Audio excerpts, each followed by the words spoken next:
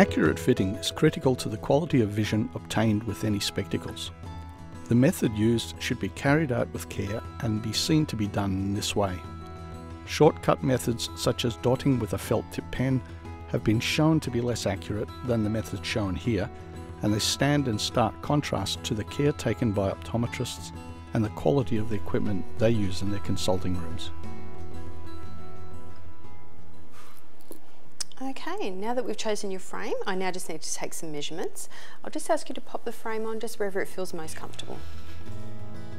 It is very important to ensure that the frame is in its final fitting position before you take any measurements.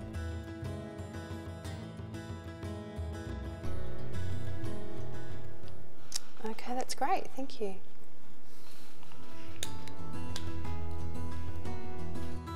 The corneal reflex pupillometer is designed to measure the distance between the visual axes and not just the distance between the pupil centres. Before you take the distance PD, set the working distance knob to infinity. Okay, I'll just get you to hold this just like a pair of binoculars. There's a green circle with a light in the middle of it. I'll just get you to look straight into the light. Going to start with your right eye. The black line should pass through the very centre of the reflex on the client's cornea. The dispenser now flicks the occluder lever across to measure the other eye. And your left. And back to your right. Okay, that's great, thank you.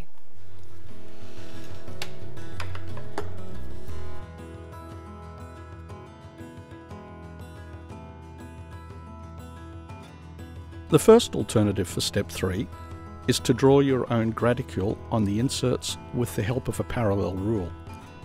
The book gives details on how to do this. Several lens companies produce parallel rules for this purpose.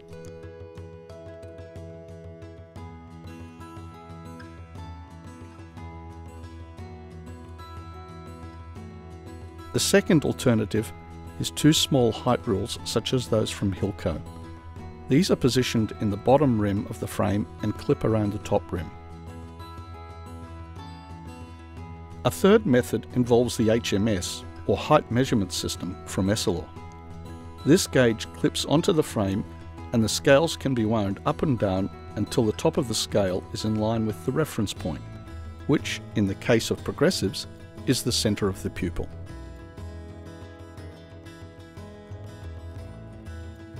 A fourth method involves a gauge called the Y-stick. This gauge also clips onto the frame and the scales can be wound up and down until the top of the scale is in line with the reference point.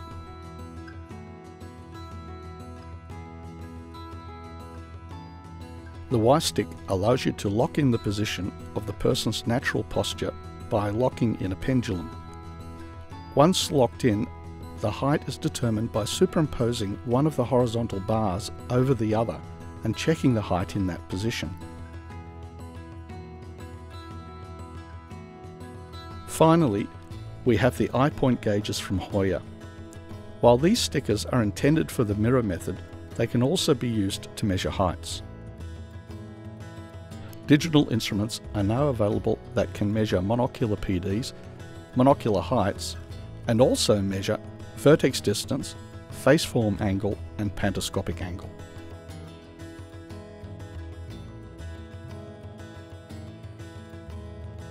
It's vital that you make sure that you are at the same height as your client. Use a wall mirror to do this if you can.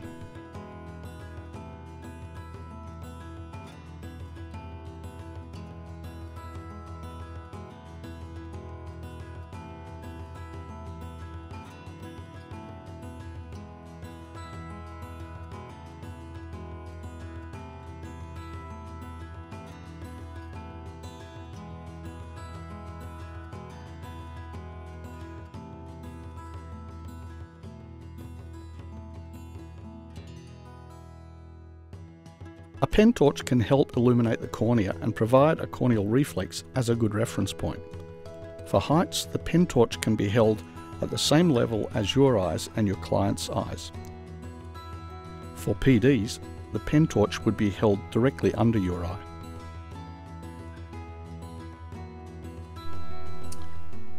Okay.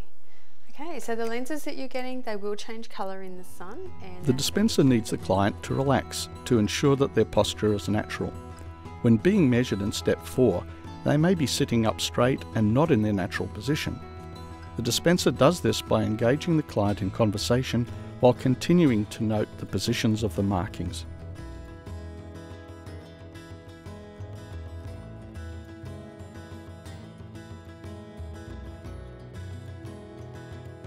The optical centre for an aspheric lens must be dropped 1mm below pupil centre for every 2 degrees of pantoscopic angle. This is the easiest method. Okay, I just need you to raise your chin up for me. Down just a little bit. Uh, Back up again. Okay, I'll just get you to hold that position for me. Notice that the lenses are perpendicular to the floor. The dispenser has artificially set the pantoscopic angle to zero, so this will be the final height of the optical centre.